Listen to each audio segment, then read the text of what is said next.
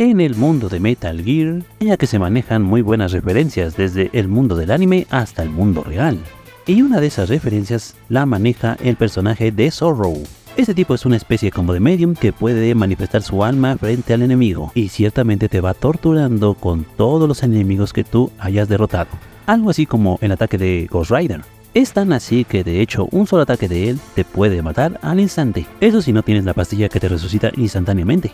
Ahora, este ataque puede ser una cierta referencia a un proyecto que utilizaron en la guerra de Vietnam, el proyecto Wuthering Soul.